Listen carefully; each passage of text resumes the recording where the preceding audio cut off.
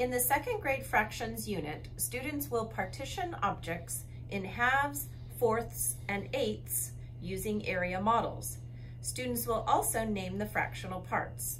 The materials needed are pattern blocks, one inch color tiles, and dot paper.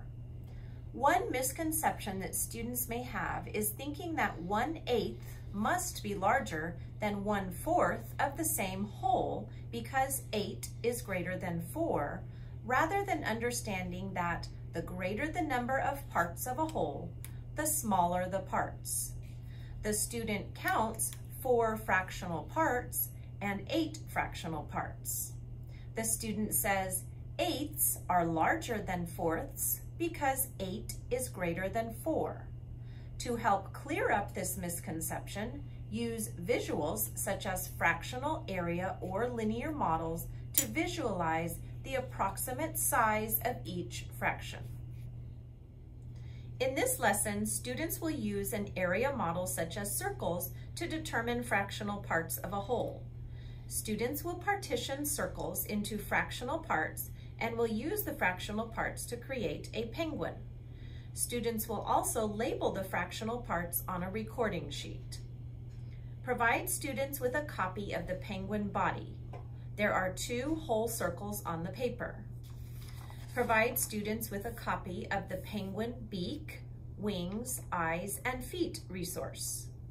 Have students cut out the circle that has been partitioned into halves and color the circle black. What do you notice about this whole circle? It has a line that is partitioning the circle into two equal parts.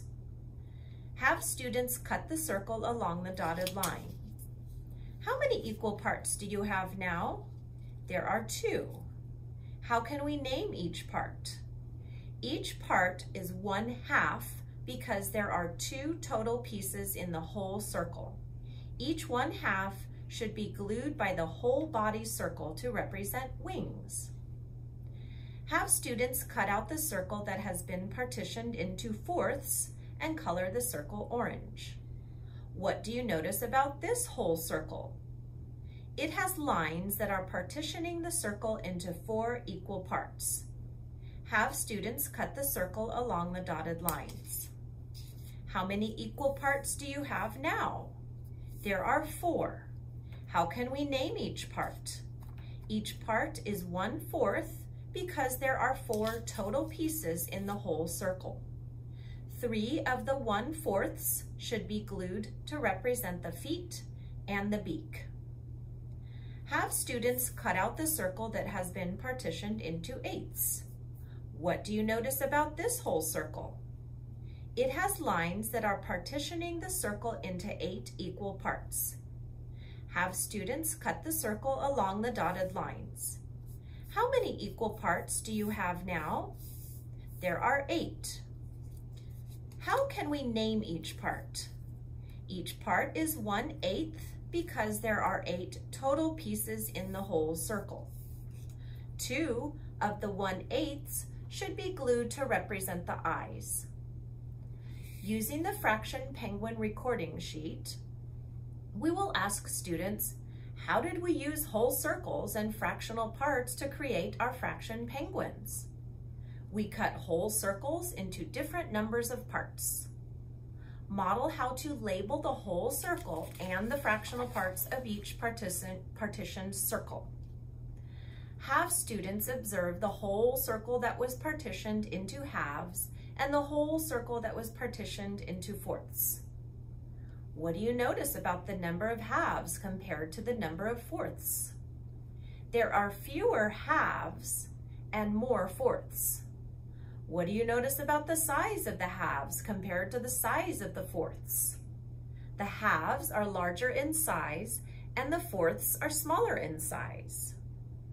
Finally, have students observe the whole circle that was partitioned into fourths and the whole circle that was partitioned into eighths. What do you notice about the number of fourths compared to the number of eighths? There are fewer fourths and more eighths. What do you notice about the size of the fourths compared to the size of the eighths? The fourths are larger in size and the eighths are smaller in size. In this lesson, students will use an area model such as pattern blocks to determine fractional parts of a whole. The area relationships between different pattern blocks can be used to explore fractional relationships. When using pattern blocks, it is important that one shape be designated as the whole. Students will then use equal-sized pattern blocks to partition the whole area. Begin by designating one yellow hexagon as one whole. Show students two yellow hexagons. Cover the first hexagon with two red pattern blocks. Cover the second hexagon with one red pattern block, one green triangle, and one blue rhombus. What is the same and what is different about how we covered each of the yellow hexagons?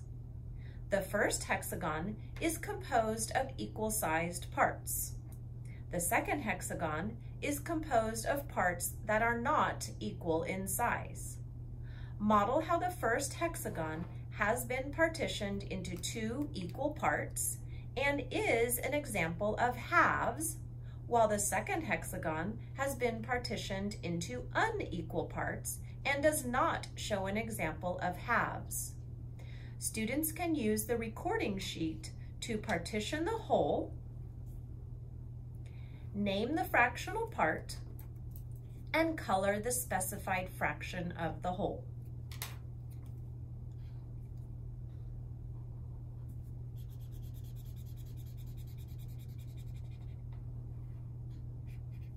Continue by designating one blue rhombus as one whole. How many green triangles or equal parts are needed to cover the whole rhombus? There are two equal parts. Model how to partition the rhombus into two equal parts by covering the shape with two green triangles. Each green triangle is one half of the blue rhombus. Students can use the recording sheet to partition the whole, name the fractional part, and color the specified fraction of the whole.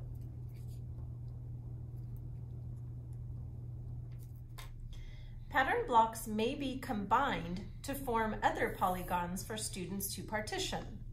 Designate two yellow hexagons as one whole. How many red pattern blocks or equal parts are needed to cover the whole polygon? Four equal parts. Model how to partition the polygon into four equal parts by covering the polygon with four red pattern blocks. Each red pattern block is one fourth of the polygon. Now color two fourths of the polygon.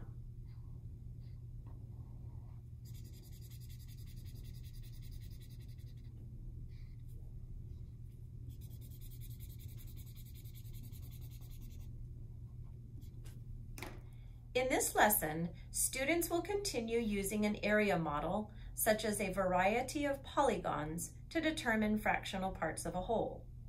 Students will partition various polygons by folding. As was done in previous lessons, before partitioning any given polygon, designate the whole.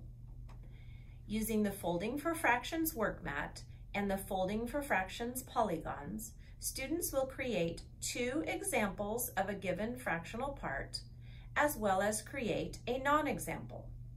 A set of polygons that will be partitioned has been provided. Students need to cut out the polygons. Begin by designating one rhombus as one whole, placing it on the work mat under the whole column. In previous lesson, we partitioned objects into equal parts by cutting circles as well as by covering pattern blocks. What is one way we might partition a rhombus into two equal parts or halves? By cutting, by drawing a line on the polygon to show equal parts, or by folding. Using a second rhombus, how can we fold the rhombus to show two equal parts or halves? The rhombus may be folded horizontally or vertically, and a line can be drawn to show two equal parts. Explain to students that when the rhombus is folded in half horizontally or vertically, this partition creates two equal parts that are the same size and same shape. Actually demonstrate how the two equal parts that are on top of each other after folding are the same size and same shape. Allow students the opportunity to show how to partition a rhombus two different ways by folding, drawing the partition, and placing each on the work mat under the example 1 and example 2 columns. Finally, fold the remaining rhombus in a way that does not show two equal parts. How do we know that our rhombus shows two unequal parts? Each part is not the same size. Students will continue showing various ways to partition polygons by folding using the set of rectangles to show four equal parts or fourths and another set of rectangles to show eight equal parts or eighths. Have students observe the rectangles that were partitioned into fourths and the rectangles that were partitioned into eighths. What do you notice about the number of fourths compared to the number of eighths? There are fewer fourths and more eighths. What do you notice about the size of the fourths compared to the size of the eighths? The fourths are larger in size and the eighths are smaller in size. Finally, the fractional parts and observations may be recorded on the Folding for Fractions recording sheet. In this lesson, students will continue using an area model, such as squares or rectangles on dot paper, to determine fractional parts of a whole. Students will partition squares or rectangles into fractional parts that may be oriented in varying ways. Students will also partition squares or rectangles into fractional parts that may be the same size, but a different shape. Begin by providing each student with color tiles, crayons, and dot paper. Display the square that has been partitioned into two equal parts on dot paper. Students will trace along the dotted line so that the partition is apparent. Using what we know about area, how can we show that the two parts or halves are equal by cutting, by folding, or by covering each square inch with a color tile and counting to see if they are equal in size.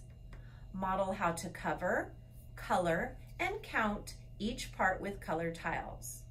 Because each part has the same size area, the square has been partitioned into two equal parts or halves. Display the square that has been partitioned into two equal parts on dot paper, but yet has parts that are being shown in a different orientation.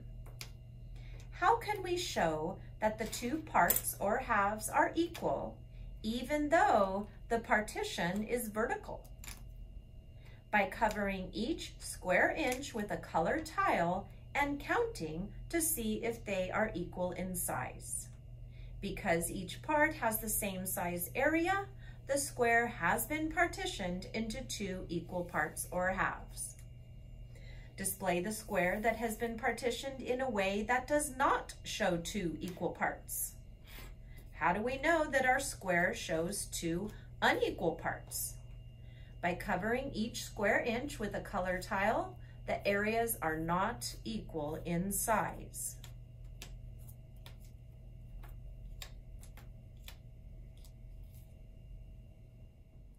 The next series of squares on dot paper are examples and a non-example of fourths. Display the square that has been partitioned into four equal parts on dot paper. How can we show that the four parts, or fourths, are equal? Because each part has the same size area, the square has been partitioned into four equal parts or fourths. Display the square that has been partitioned into four equal parts on dot paper, but yet has two of the parts that are being shown in a different orientation. How can we show that the four parts or fourths are equal even though the partitions are vertical and horizontal? Because each part has the same size area, the square has been partitioned into four equal parts or fourths. Display the square that has been partitioned in a way that does not show four equal parts. How do we know that our square shows four unequal parts?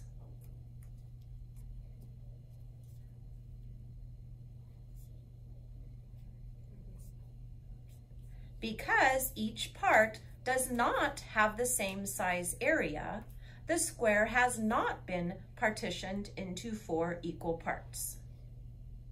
The, ne the next series of squares on dot paper are examples and a non-example of eights. Students may continue to partition polygons of various sizes using the dot paper reinforce the idea that polygons may be partitioned using dot paper in many ways. The resulting fractional parts may or may not be the same shape and or orientation, but must be the same size and can be justified by counting the area in square units.